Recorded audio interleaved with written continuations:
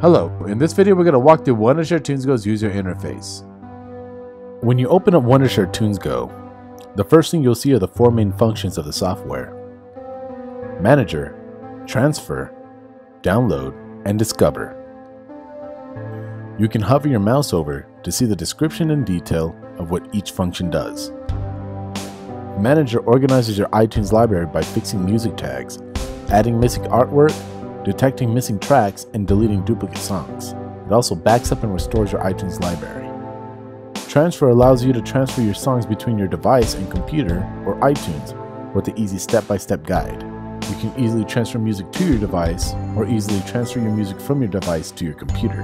Download your favorite tracks directly from YouTube by searching or pasting the direct link into TunesGo's search tool. And Discover, which allows you to create your own playlist to share with the TunesGo community listen for free, or download music for any occasion. Here's where you can log in and register your TunesGo. Here is your feedback, which allows users to give feedback to TunesGo to make it better, or to get help with your problems that you're having with TunesGo. You write your feedback or your problem here, attach a log file, and attach a screenshot, which TunesGo will automatically provide. Then click Submit.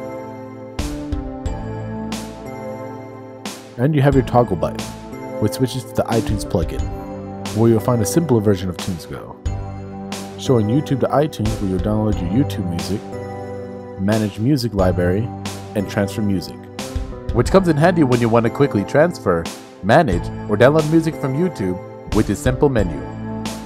Here under Get Music, you'll find a quick link to Discover, where you can find the community's music and download their playlist. Download where you can copy and paste your YouTube link or search it here. You can also use SoundCloud MTV, Vevo, and more. Also add more music sites here. And Recorder, where you simply play your favorite music in the background.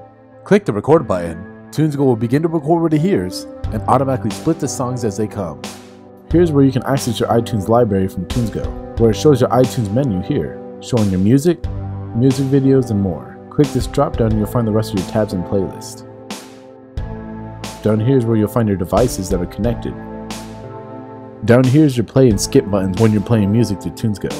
And here on the right, it's your quick access to transfer music and your downloaded music from YouTube. Click the arrow to go back to the previous page. You just walked the Wondershare TunesGo's user interface. If you want to learn more, check out the other videos about Wondershare's TunesGo.